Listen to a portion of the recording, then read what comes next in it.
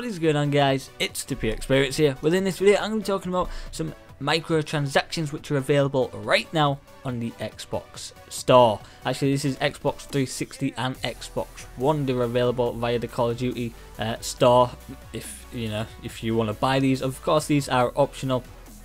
Mainly cosmetic items, not going to change anything uh, within the game or your player. But anyway, let's get on with it. So the first microtransaction today, uh, this is surprising because it's fully unannounced. No, it's just kind of popped up there. I'm like, oh wow, cool.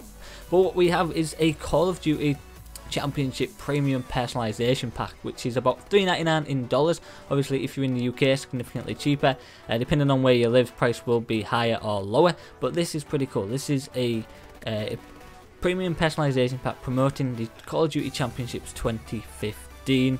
Uh, what you get out of this is a golden weapon camo, three reticles, a calling card, a emblem, and a exoskeleton and helmet, uh, kind of promoting uh, Call of Duty Championships. And that looks pretty cool in the picture I see. Might have to have a look at that uh, and buy it.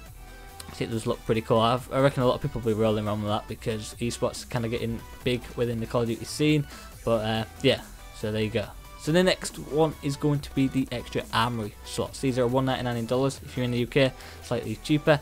Anywhere else, up or down with the price. But this adds 120 slots to your armory, uh, increasing the number of redeemable loot that can be stored in that section, which is crazy.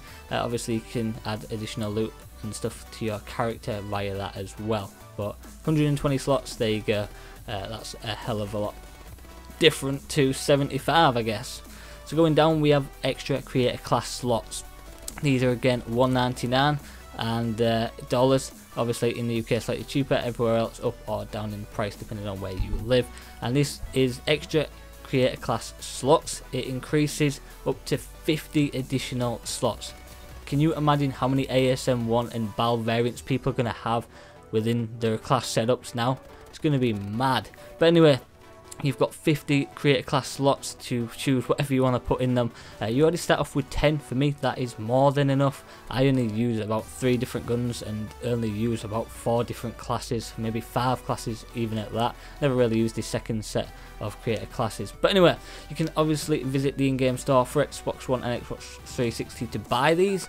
Uh, for PSN and PC, they do come at a later date. We don't know yet. But anyway guys, that's going to be it for me today in this video hopefully you know just kind of shedding the information as it comes. Uh, you might not know about these and that's what I try and do give you the information as I get it and as we all get it. But anyway guys hopefully you've enjoyed this video. If you did please drop a like and a comment. Thanks for watching and I'll see you guys in the next video